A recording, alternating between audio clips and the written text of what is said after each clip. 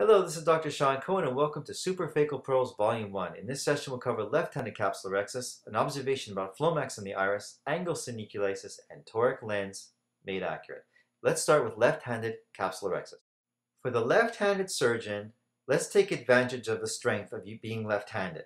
If we place a cystotome on a viscoelastic substance like Discovisc, we can use our left-handed created paracentesis and then a cystotome with viscoelastic to fill the eye and perform the capsular capsulorhexis, if partially or completely with a cystotome. Being a right-handed surgeon, I can use both method, methods, but if you can start and, and have the advantage of the left hand, it's a great way to take advantage of the strength of a left-handed surgeon. You can then choose to continue the rhexis completely with the cystotome, but because you have a second structure in the eye to stabilize it, you can perform the kerat keratome main wound with a 2.2 millimeter keratome using the viscoelastic substance to stabilize your eye and the cannula.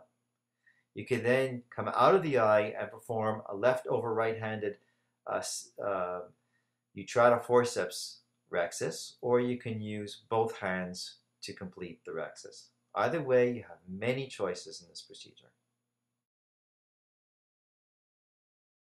A good surgeon is a good observer. Let's take an observation of fluid dynamics in Flomax.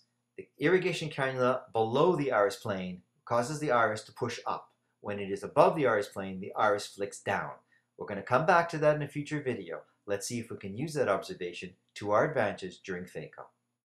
For patients with peripheral anterior synechia, the irrigation soft tip is usually sufficient to pull on the peripheral iris closer to its root not too hard to cause bleeding, but hard enough so that you can release most synechiae.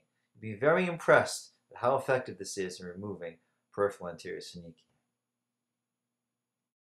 After we've marked our patient for toric lens, either at the slit lamp or at the bedside, the 180 and 0 degree markers are easily identified and referenced to a blood vessel on the cornea, near the cornea. The marker that we can use can either scratch the cornea, create a broad mark, or interfere with visualization if we have to make a wound at 30 degrees, because we have accurate 0 and 180 marks, we can use a 30 degree marker to identify a blood vessel or some kind of physiologic marker that is more accurate than a blob of ink.